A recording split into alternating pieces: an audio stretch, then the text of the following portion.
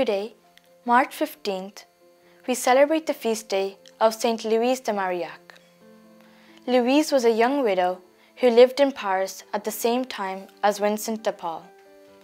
She belonged to the nobility, but her experience of personal rejection by her family as a child, born outside of marriage, made her particularly sensitive to the suffering of others. Vincent sought her help in organizing the confraternities of charity and in responding to the needs of people who are stricken by poverty, famine, and war. Born in France, Louise lost her mother when she was still a child, her beloved father when she was but 15. Her desire to become a nun was discouraged by her confessor, and a marriage was arranged. One son was born of this union, but Louise soon found herself nursing her beloved husband through a long illness that finally led to his death. Louise was fortunate to have a wise and sympathetic counselor, Francis de Sales. But from an interior illumination, she understood that she was to undertake a great work under the guidance of another person she had not yet met. This was the holy priest Vincent, later to be known as Saint Vincent de Paul.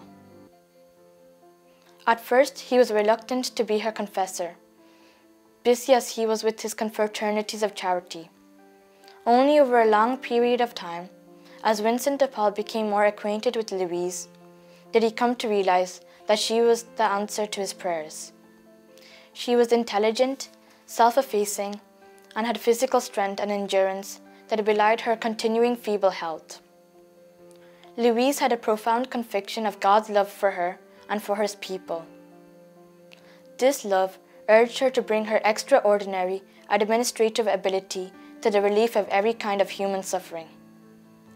Together with Vincent, who became her lifelong friend and collaborator, she founded the Daughters of Charity. The missions he sent her on eventually led to four simple young women joining her. These were the first sisters of the Company of the Daughters of Charity founded when Louise was 44 years old.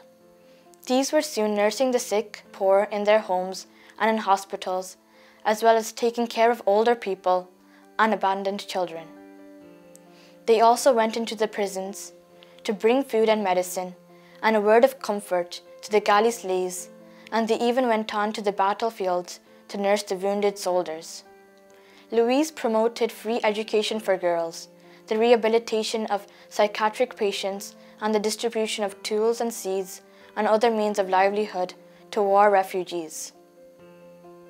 St. Louise went on to build and develop over 40 houses of the Company of the Daughters of Charity throughout Paris and then extending throughout France. St. Louise continued her work and direction of her sisters until the day of her death at age 68. She was canonized by Pope Pius on the 11th of 1934. Saint Louise de Marillac, pray for us.